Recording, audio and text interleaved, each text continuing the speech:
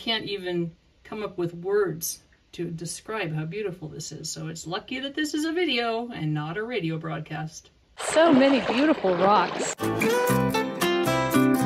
That's a nice thing to find on my way out. Hi everybody, it's Kate from KatyDid. Guess what? It's time for another cutting video. I know you love them, so let's get started. I've got some awesome rocks to show you today. Uh, one of them is an eight pound agate from a fellow named Travis Patterson, who you might know as 406 Findings. We're going to start with that one. Let's take a look.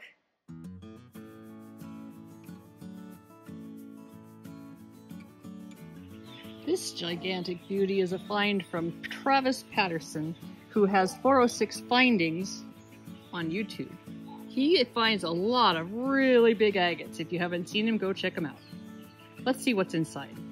One thing about rocks is that they don't really seem that impressive, right? I mean, even now, after they're cut, they're just this pile of dark. And so it's really hard to see what the big fuss is about. So let's see if we can figure it out. This one was the eight pound agate. And this again is from Travis Patterson of 406 Findings. And uh, this one was kind of a surprise because it was actually this is, you know, a real nice kind of bluish quartz material on the very outside. But then, look at this. This is a quartz crystal pocket. I almost want to say it's mostly a quartz crystal, and then the agate just kind of decided to tag along. Let's see what we can see here. Oh, look at the beautiful patterns in that thing. Isn't that neat? I like the way the, the agate is kind of in little eye, eye dots all the way up there too. Look at how pretty that is. Here's the next piece. These would make some beautiful kind of uh, window hangers. Look at the quartz crystal patterns in that. That is just amazing. So pretty. An eight pound agate is a pretty big agate. But Travis seems to find really big ones, kind of a lot. We call him the agate whisperer. Here's another one. It's got some nice inclusions on the end there. And again, this beautiful quartz pocket. I really like that. I like the how you can see where the crystals kind of grow from the center and they just sort of explode into this this beautiful, beautiful pattern. That is really cool.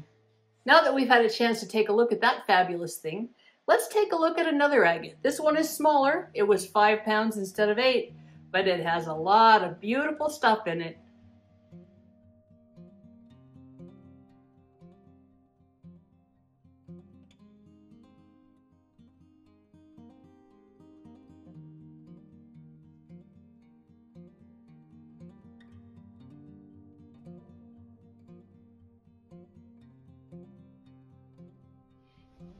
This next one was a five pound agate.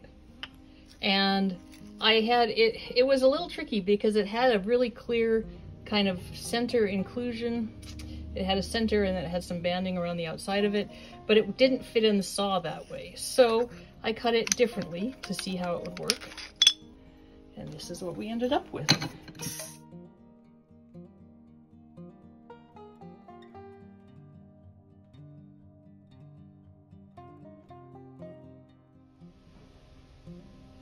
See this one broke around along the edge there.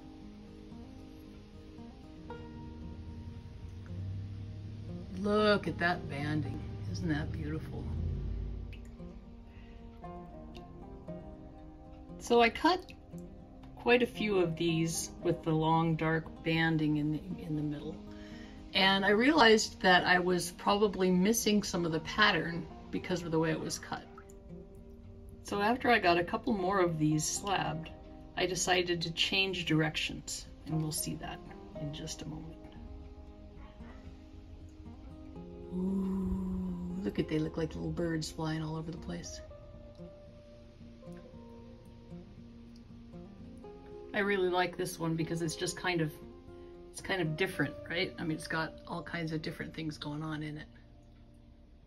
Looks like sort of a very, very dark sunrise. All right, now we're going to see what happens when I turn the agate and cut it in a different way. See, this is the uh, this is the pattern that was on the end, and if I had been able to cut this way, then all of them would have looked kind of like this. Kind of like an agate smile, huh?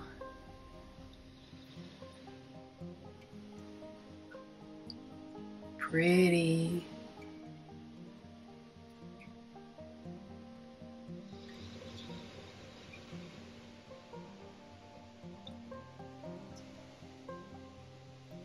Oh, look at those inclusions.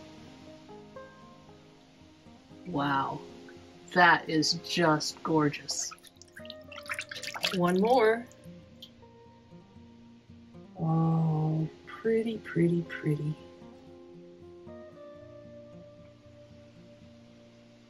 Aren't those nice?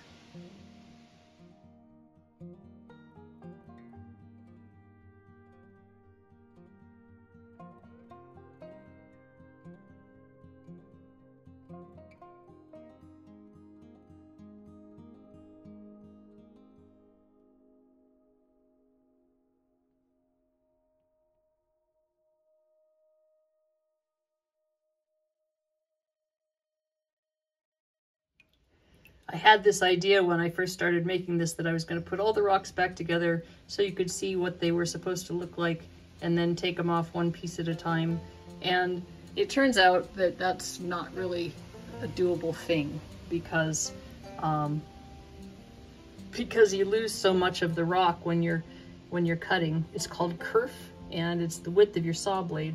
And so it actually ends up being tough to put them back together, especially because they all have little saw nubs on them too, from where the from where the saw stopped cutting, like right right there. So they don't fit very well together. So my brilliant idea is not working. So here we go in the sink.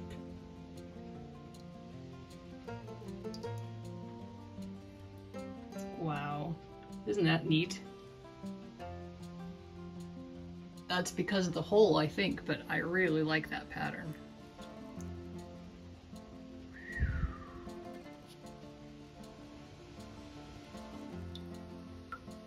This is just the remnant of the hole, the very edge of it.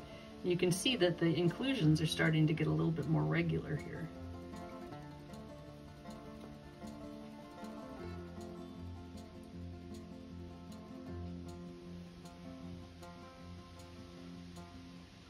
Lovely. One of the things I love about Montana agates is that every single one of them is different and they have so many different minerals that contribute to their colors that you just never know what you're going to find inside. Here's the middle piece, so again, it's pretty thick. As You can see it's almost, it's probably more than half an inch thick and you can still see my finger on the other side of it, so you can see how translucent this is. Pretty.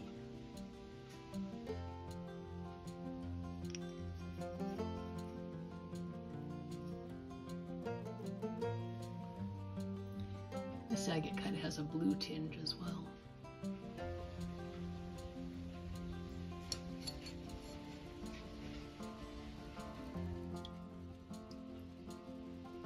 it looks like somebody is scattering trees. Like little tiny trees and then they're getting carried on the wind. And then they come into a forest. That's how they're made. And here you can see that the forest is starting to take hold. Kate, you're weird. Oh, all right. Anyway, just some pretty, pretty agate there. I'm pretty pleased with that one.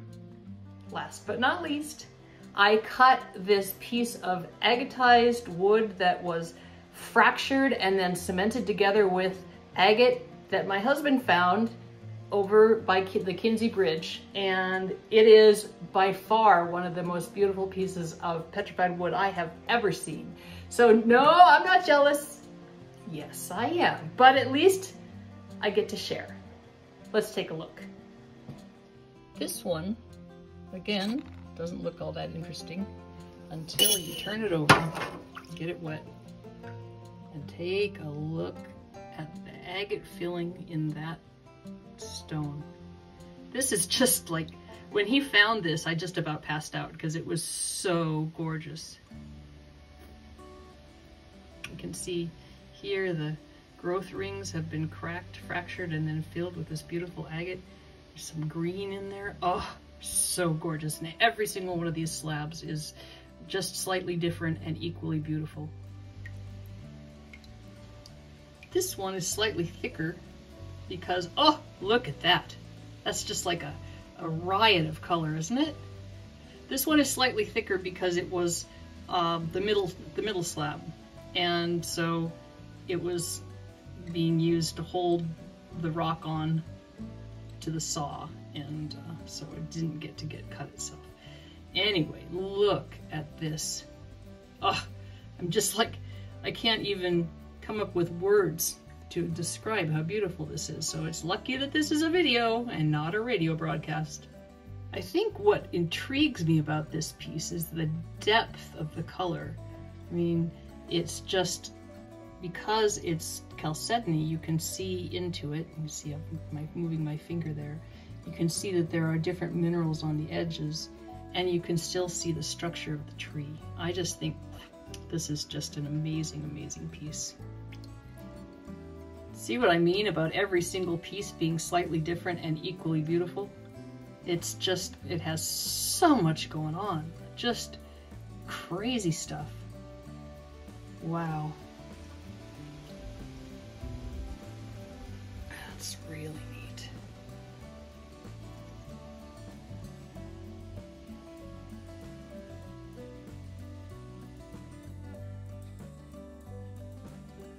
The problem, of course, with something like this is that it's so beautiful as a whole that it's hard to think about cutting it or cabbing it, making it into something smaller.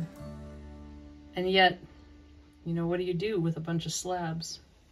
I suppose you could polish it all together. Let's see if we can get it better. Nope, not even. Oh, look at that. Look at the glow. All right, last one.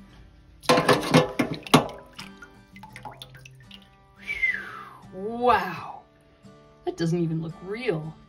It's just so, so amazingly detailed. All right, I'm sold. This is just a gorgeous rock. And my hubby found it.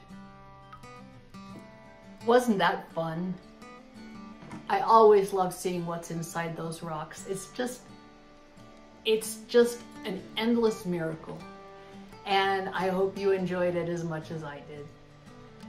If you want to share in the treasures, check out my Etsy store, KatyDid Rocks. Don't forget to subscribe. Likes, comments, and shares all help the channel grow.